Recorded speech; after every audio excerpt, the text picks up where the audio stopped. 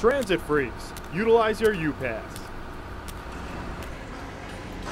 What's up? My name's Liz Shuey, and today we're going to utilize our U-Passes and jump on the 29 bus to head on down to Navy Pier.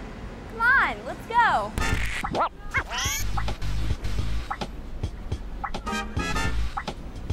Hold your U-Pass and catch the 29 bus, which is right outside the doors of the UC. It'll take you right there to Navy Pier.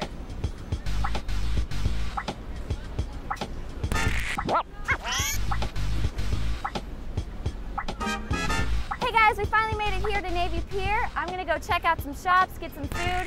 Thanks for utilizing your U-Pass today. I'm Liz. I'll see you on the Ferris wheel.